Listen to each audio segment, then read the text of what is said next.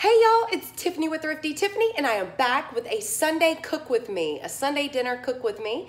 And I'm gonna be making barbecue chicken, so good, homemade mashed potatoes, corn, and some croissant rolls. So I'm really, really excited. And then we're gonna sit down, enjoy some American Idol, and yes, enjoy family time. If you're new, my name is Tiffany and this is Thrifty Tiffany and welcome to my channel. I hope you stay subscribed and hit that bell button. And all my current subscribers, I love you guys so much. And I hope this is some inspiration for some other Sunday dinners. This is gonna be a quick Sunday dinner, not too fancy, just some good old, good old barbecue chicken, y'all. Um, so yeah, so stay tuned and I will see you guys at the end of the video. Love you guys. All right, so to start uh, Sunday dinner, we have our meat here, which I am using what I have on hand, and you can use whatever cut of meat that you have on hand, legs, breast, thighs. Um, I got tenders. I got a large pack. This pack was actually only $5.68, so I kind of just get what's cheap to feed a lot of people. So these tenders work really good. Um, I also got potatoes. I got parsley and I got this Memphis barbecue seasoning I got from Dollar Tree. I love this stuff. So I'll put this on first, the chicken, and then I love this Kraft Original um, barbecue. I love this barbecue sauce and I get that at Dollar Tree as well. Got some butter, cream cheese. That is for my mashed potatoes. Olive oil. I have my frozen super sweet corn. Um, an onion. I might put onion with the barbecue just to flavor it. I am going to use an iron skillet, so I'll start it on the stove top, end it in the oven. Love doing that. Um, so I got my two pots here. This is for the corn. This is for the potatoes. And then over here, I have my um, baking tray already ready to put the croissant rolls that I get from Dollar Tree. Absolutely love these Ellie's uh, croissant rolls. They're so good, and you get 10 mini in here. So we'll heat all of those up in the oven and then coat it with a little bit of butter. So yes. All right, so we're gonna get started. This is an overview, overview of the items that we're gonna use. And now to get started, the first thing, we're gonna go ahead and get that heating up. We're gonna start with the chicken, get it heating up, um, get the pan warmed up, and we're gonna go ahead and add some water to our pot. Okay, y'all, so I'm just gonna add water to the pot course, however much water. this is just for the potatoes. Just fill it up halfway, however many. I'm using five potatoes. I usually do uh, one potato for each of the person here. So there's four people here. And then I do one extra, always. Just so maybe some leftovers. Um, maybe somebody a double helping, which could be who loves mashed potatoes. Um, and I'm to go ahead and turn that water on to get it heating up. Um, so let's get that started. Hope everyone is having an okay Sunday, enjoying it with family. I know a lot of us are in the house. Also for the corn, I gotta get some water started for the corn. This is a steamable bag, so I'm wondering, do should I? I might actually steam it in the bag, y'all. I might just take a shortcut. Usually I like to cook it on the stove, but it says right here, microwave uh, steams in bags. So I might steam it and then add butter, salt, and pepper at the end. Um, so yeah, I might do that. We'll go ahead and put that in the microwave and then we'll go to it when it's time. Because that's gonna be one of our last things that we do. Um, let's see. Next, we're gonna, while that's heating up, we can go ahead and peel the potatoes. Let me get the peeler. I'm gonna peel those potatoes. I've already rinsed them off. They're still wet on one side. Let me get a napkin. Also, we'll probably caramelize some onions with the barbecue chicken just to flavor it really good. Um, so I'm just gonna start peeling these potatoes. If y'all hear the kids in the background, the boys are playing a video game, so they're kind of loud. American Idol comes on tonight. Who watches American Idol? I absolutely love American Idol, y'all. And I can't believe Katy, Katy Perry is pregnant. That's so crazy. That's so cool. I love all the stories that come with American Idol. It's just a fun, nice little family show to watch. And I also like to watch Naked and Afraid. It's kind of crazy, but I do like that. They always have new new um, shows that come on on Sunday night. So excited for those. hopefully this will get you away from what's going on. Hopefully take a minute, watch this video, and it'll get your mind off of what's actually going on in the world right now. Because it's kind of scary. But, so we are peeling, let me move this so you can see a little bit better. There we go. I'm just peeling it on this napkin right here, using my good old peeler. Let me turn this down a little bit. And actually, I need to go ahead and salt the water. Let me salt the water over here for the potatoes. Season the water really good.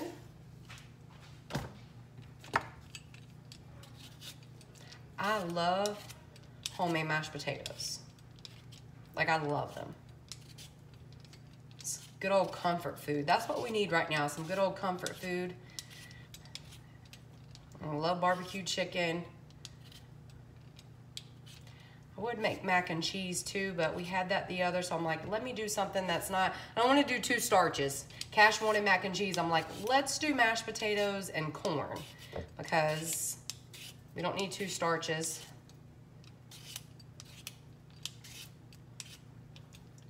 And y'all, I'm not even gonna lie. I feel like I'm coming down with something and it's scaring me, but it feels like I have I have allergies really, really bad. Like me, Cash, and Kaya. Cayman doesn't have any allergies. Me, Cash, and Kaya get it really bad. Kaya was sick, as you guys have seen on my other haul.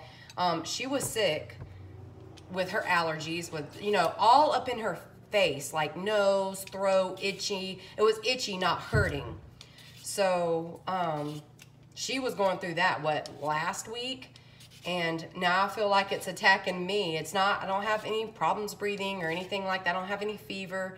I just kind of feel like my throat, it's like a lump in my throat, and I just kind of feel like my allergies are attacking me, and it's so scary because all this going out, you know, you're like Googling every symptom and checking yourself for fever to make sure you don't have a fever. That was the main thing. That's how I knew Kaya, Kaya's was allergies because she didn't have any fever.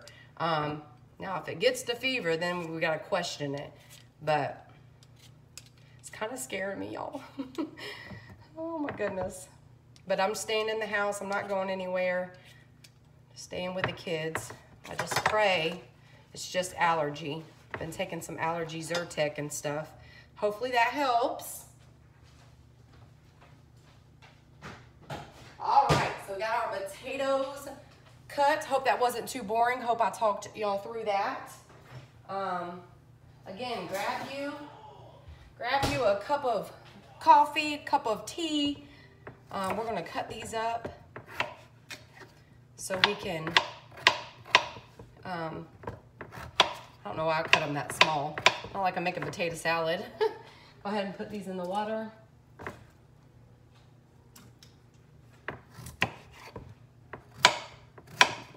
Yeah, you don't to do them so small, especially when you do uh, um, mashed potatoes. When you do potato salad, you gotta cut them kind of all even with each other, but not for mashed potatoes. I hope I have a big enough pan right here, but I don't think that I do.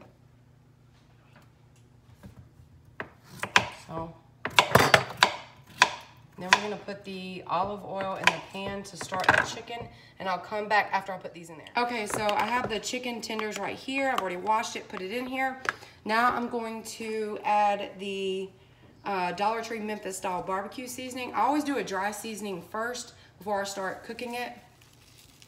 Don't do too, too much. I mean, you want to do a good bit, y'all, but not too, too much. You add a little bit of olive oil in here just so it'll stick to each other. Just a little bit, just a little olive oil. Mix it around.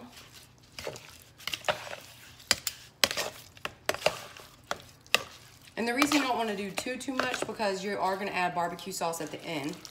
You can, I'm gonna add some um, black pepper, but don't add any salt. This Memphis style barbecue has salt in it.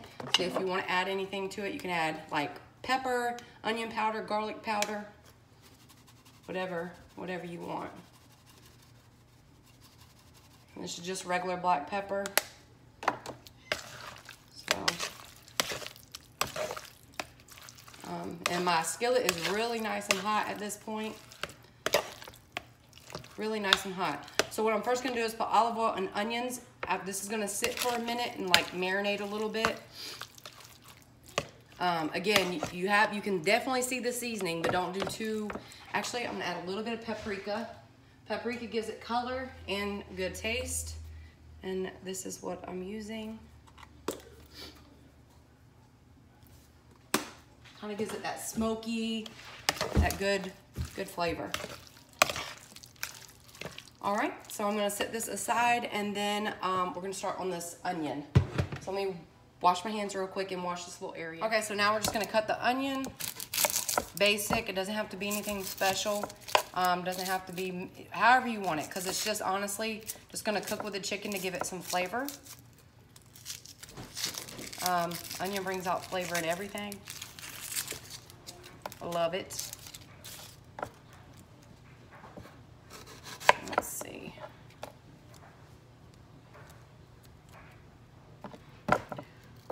And um,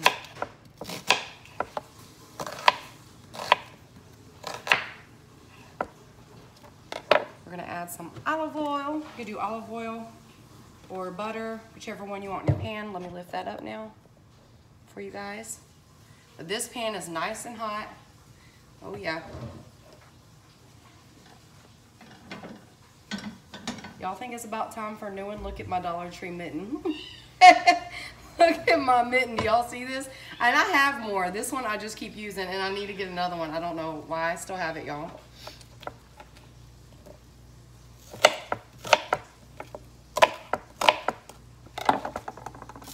Oh, that's hot. She's hot and she burnt me. She is hot. Just throw them in.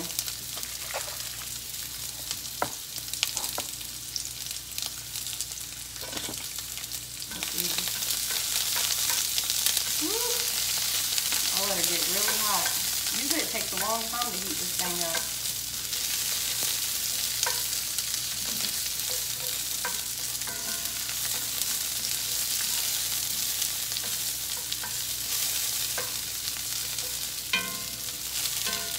Maybe closer.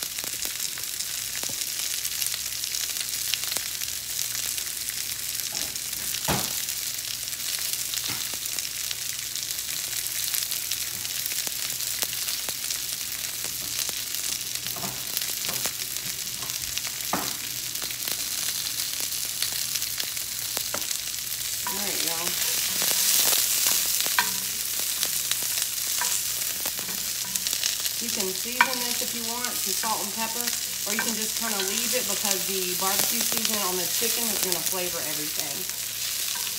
Let me put this pan up.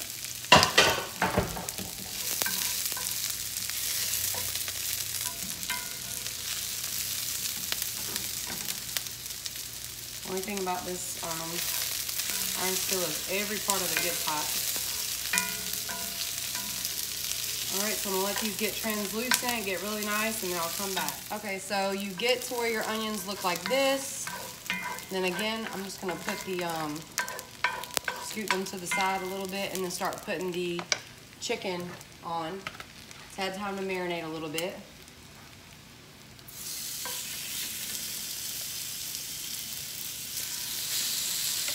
These are plenty seasoned, plenty seasoned. And then we're gonna even season it more with the barbecue sauce.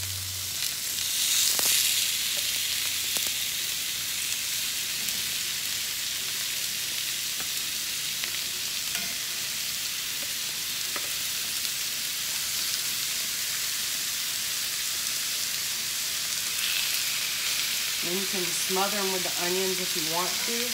Like just put some over it like that while it's cooking. Give it some that onion flavor.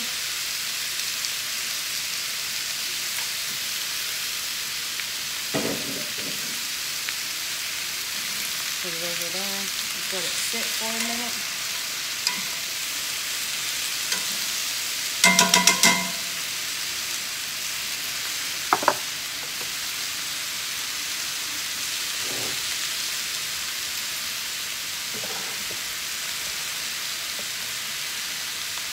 Can go ahead and preheat your oven to about, you could do 375.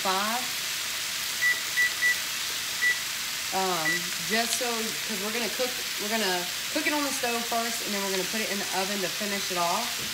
Um, like glaze it, you know, make it really good and marinate it with the barbecue.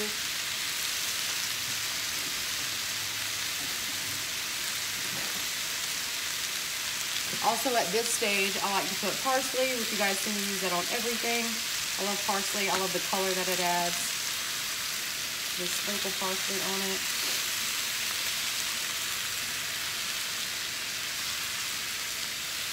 There you go.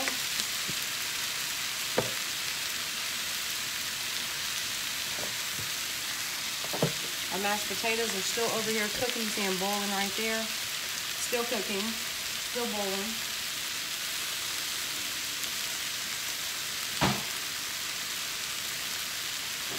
So we're gonna let it cook like this for a little bit and then I'll come back once I flip it. All right, y'all, so we're gonna flip these, spin a minute. Let's see when it comes up easy, that means it's ready. Ooh, look at that sear. So when it comes up and it doesn't stick, that means it's, it's seared enough. These look so good, y'all, with the onions. Look at this. She is a beauty. Look at that perfect sear. That's what you want right there. And this cast iron skillet does it so amazing. These are definitely worth the money. And you can use it for almost anything. Cornbread, anything, cinnamon roll, anything that you want. Okay, so we're gonna sear it on this side. Then we're gonna add our barbecue and then we're gonna put it in the oven just to kind of finish it off. But you want a nice sear before you put it in the oven. All right, I'll turn the camera around and show you guys. Look how she is looking now. It's gonna be some good barbecue chicken. Look at that sear. And those grilled onions. Oh man. So good. Okay, y'all, the potatoes are almost there. Look like they're getting kind of soft. Looking good. All right, y'all, so I just put the corn on. It's a steamable bag. So I just put that on, kind of a little cheap for Sunday dinner, but I put it on five minutes. So we'll get that out, put butter, salt, and pepper on it. Okay, y'all, so at this point, it's pretty much cooked, but probably not all the way through. So now we're gonna add our barbecue. It's got a nice sear on both sides. So we get our barbecue, and our onions are nicely glazed. Um, y'all, I'm telling you, this, this barbecue is so good. And you can usually find it at Dollar Tree. If not, it's at your local grocery store, but I love this stuff. Just gonna put it over this.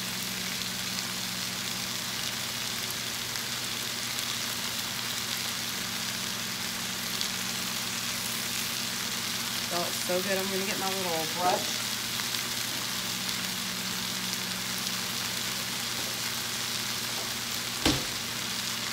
Get, get your little brush wipe it over them. Actually turn it, I'm gonna turn it off at this point and I'm gonna put it in the oven. Oh, this smells so good.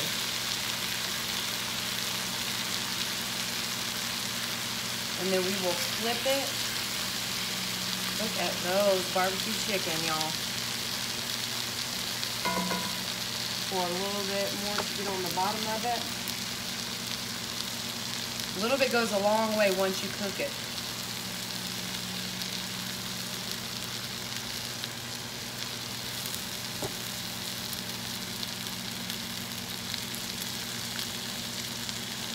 All right, we're gonna put her into the oven to bake. I got it on about 375. Um, and again, it's basically just a cook it off, let it marinate together Now we're gonna work on the okay, I'm also gonna go ahead and put these Ellie's rolls out here. I'm gonna cook them all. It's 10 mini rolls. Y'all, these are definitely a thumbs up for me from Dollar Tree. They are so good. So good. just have to brush it with a little bit of butter. So that's just ready for when it's time for them. The corn is about to bust. She's almost ready. It might not have been five minutes, but she is about to bust. Like I said, we're gonna turn the potatoes off, move them over here. I'm about to drain them.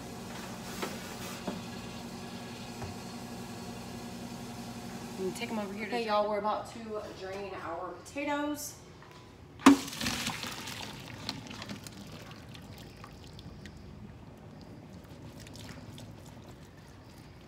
Then right after I drain them, I like to add salt and pepper to them.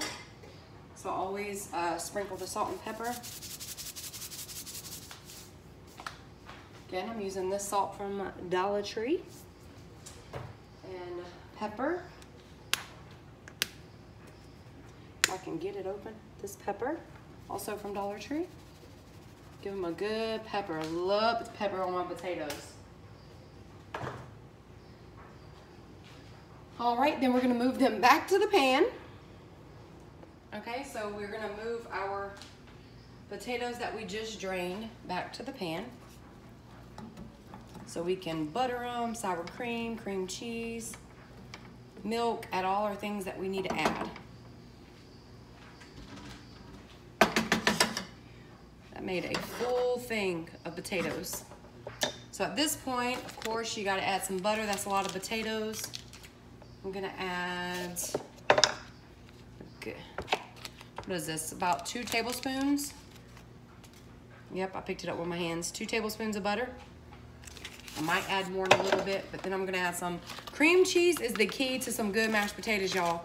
Cream, cheese, and sour cream. So I'm gonna add some good old cream cheese. Depending on how much I make, um, that depends on how much cream cheese. Sometimes I do half. I'm just using what I had left. And then I'm gonna add just a little bit of sour cream. Sour cream will overpower the flavor, so definitely don't do too much. Just do like, you know, a little bit, to make it creamy. Then you can add heavy cream or whole milk or evaporated milk. I'm gonna use some good old healthy, oh gosh, oh, some good old healthy heavy cream, just a little bit of it. And then I might add some more milk to it. Again, I take my good old, don't, this is my advice, do not use a mixer on mashed potatoes. You make them waxy. So don't use a handheld mixer, use a masher. Um, you don't want them waxy. You don't want them like, yeah, I'm gonna have to add some, probably some, some regular milk. I can already tell I need regular milk or some more heavy cream.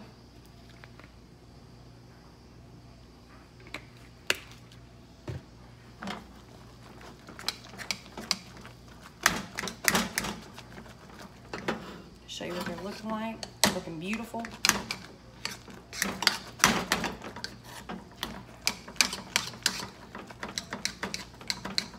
And then you just taste it. Keep tasting it because it might need more salt, pepper. It might need more cream cheese because I like mine creamy. Sometimes I've added a little bit of mayo. Mayo is like a trick, but I have, I'm not doing that this time. I'm doing cream cheese. Let's taste it. Let's give it a taste and see what we need. gonna taste her. And I'm not gonna dip back in here, y'all. We're gonna taste it. Mmm. Mmm. I think, oh, she's good. I think a little bit more of cream cheese. I don't know, she's pretty good. Let's see. might add, again, I just used Kroger brand cream cheese. I'm just gonna add a little bit. Um, again, not too much.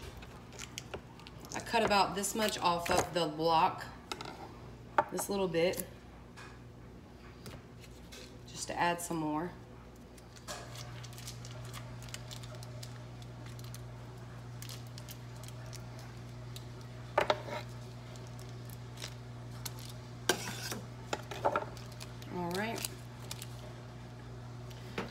Her down in there.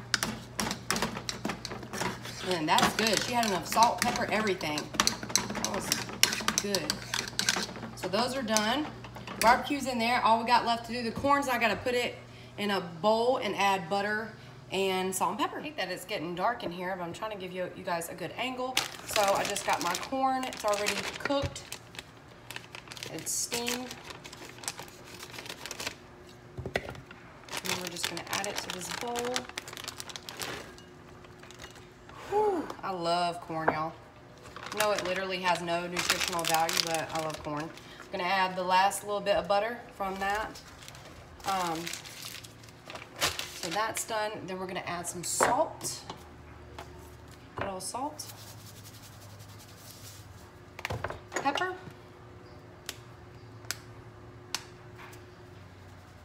And we gotta let the, um, let the, let me use this, let the butter melt in there. So this is ready. I can stick it in the microwave and it's ready for when, when it's ready to serve. Let that butter melt, it's melting. That's about two tablespoons of butter. Just like I put two tablespoons in the mashed potatoes. Um, yeah. All right, so it looks like the corn is done, y'all. Let the butter melt all in there.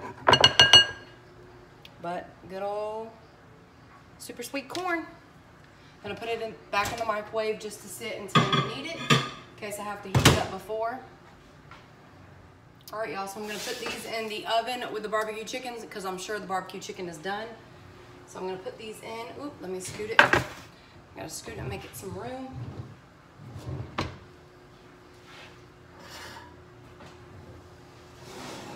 Yeah, that barbecue chicken's done.